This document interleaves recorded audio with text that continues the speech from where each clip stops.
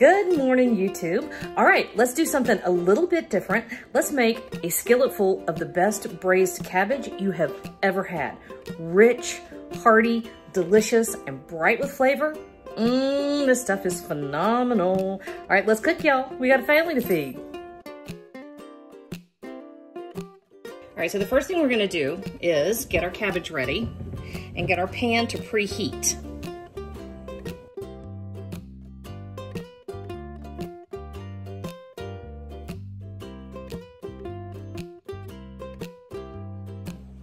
All right, we are ready to do our braised cabbage. I'm actually gonna set our cabbage over here for just a minute. I've gotta get reorganized, there we go. All right, so I've got about a tablespoon of olive oil heating over medium heat right here. There we go, there we go. We're gonna get, let that get nice and hot while we're doing this little method over here. And in this little woohoo, I have a quarter cup of tomato paste. This is the um, extra concentrated tomato paste. That is two teaspoons of black pepper, a teaspoon of kosher salt, one half of a teaspoon of celery seed, half a teaspoon of crushed red pepper flake, and about a teaspoon of fennel seed, okay? we are going to mix all this up.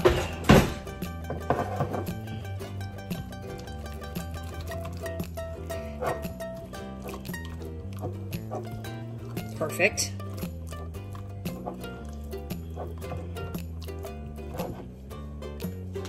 There we go. All right, now that we've got some heat, let's see if this is warm enough or hot enough yet. So we've got our cabbage that still has the core. This will help keep it together while we're cooking it. Yeah, you hear that? You want some sizzle, all right? So all we're doing at this stage is we're gonna brown these on both sides. And we're gonna get a lot of color on them. So this takes a little bit of, a, of, of patience.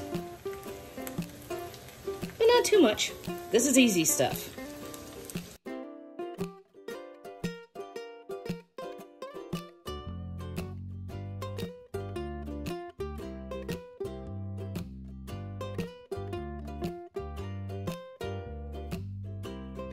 All right, so our cabbage has been nicely browned. And actually, I'm kind of in a hurry. Um, imagine that. kind of in a hurry, so um, you could take that darker if you wanted to sit here and fiddle with it. It was about 15 minutes all in to brown everything. I don't want to sit here and fiddle with it.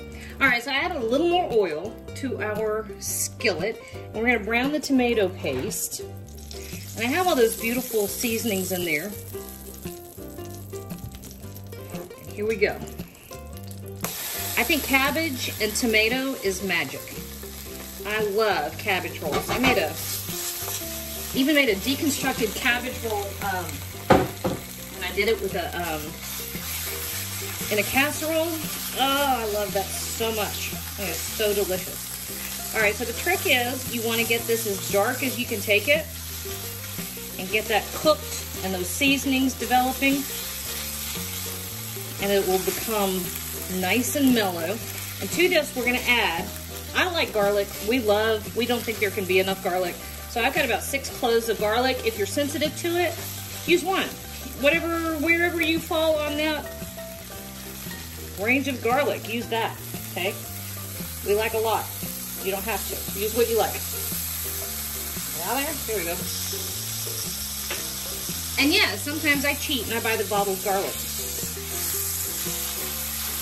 I'm not apologizing for that. I don't apologize for a lot these days. All right, so this is just gonna go for a few minutes. We're gonna keep an eye on it. Don't walk away from this because it will scorch and then there's no bringing it back. Once you've scorched tomato or garlic, it's ruined. So here we go. This is just gonna take a few minutes. We're gonna let it cook and come together. And we are almost ready for the oven. Here we go. You can really smell this.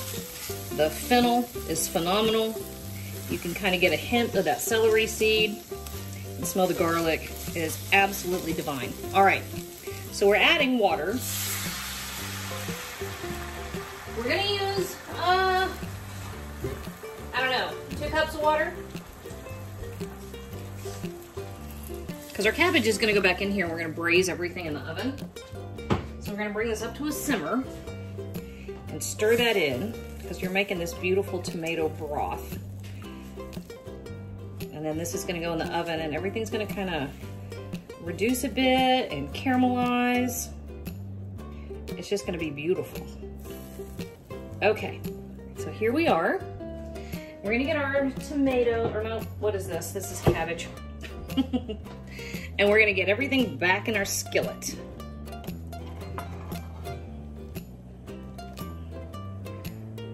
Let's see.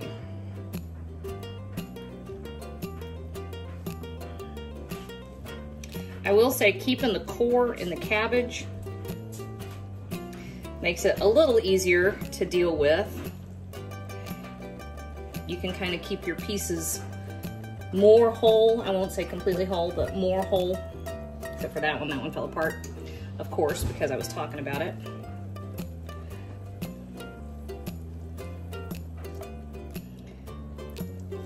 Never fails. As soon as I'm trying to show y'all how to do something. Which way is up? That way. Couldn't remember what my direction was. Fancy that.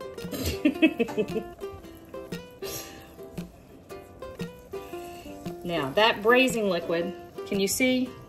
It's getting in between all those beautiful leaves. Those flavors are going to be divine. All right, we're gonna give this a little salt. we got one that's just backwards, of course. Close enough. There we go. We're gonna give it a little salt and a little taste. So, got our oven preheated to 350 degrees. Oh my gosh. Y'all, that is divine. Okay, here we go. Sorry about that, we had a detour. Okay, so just a little bit. It does need some salt. The salt will also help cabbage wilt a bit. That looks like a ton of salt. It wasn't. It was only about a teaspoon of kosher salt. Mmm. All right, y'all. Going in the oven. Well, as soon as I find an oven mitt, we're going in the oven for about 45 minutes, okay? I'll meet you back here when this is ready to go. All right, I looked a minute ago and this is so beautiful. I, I didn't want it to stop before you got to see it. I don't know if you can see it bubbling, but that is stunning. And the fragrance is amazing. So good. Okay, y'all, here is our braised cabbage. And check this out. Get a little closer. Can you see how that has thickened up? And our cabbage has beautifully caramelized. Okay, I'm gonna sneak a little bite out of here. I'm gonna burn my mouth so much.